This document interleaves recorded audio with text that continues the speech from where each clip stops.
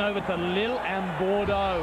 And that's got to be, it must be, surely, yes, it's a penalty. Oh, scandalous challenge, two-footed. Referee has no hesitation in pointing to the spot. Late penal, as you would say. Pedro Pauleta, what a penalty he puts on here in the 29th minute.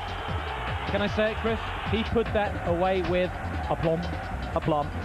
That would be an adequate adjective. So, second half play. Keeper coming out of the area. Would it prove to be beneficial? No. Oh, fantastic header from the 18-yard box. Boutoille in the 70th minute. That was quite outstanding finishing.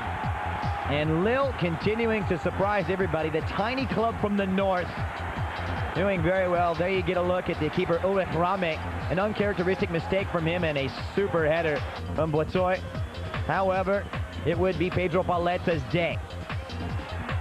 Oh, that was finishing of the highest order. The way he takes it down, look at that. Oh, the defender goes the wrong way and just smashes it home. Right foot, 76th minute. Surely all three points of Bordeaux. No. No? Surely they're not because Pascal Cygan in minute 87. What a timely goal from him. Comes up on the corner kick, heads it in. More importantly, however, this steals the points from a very impressive Bordeaux squad. And in a battle extraordinaire, Lille and Bordeaux split four goals. I don't know what the goalkeeper was doing.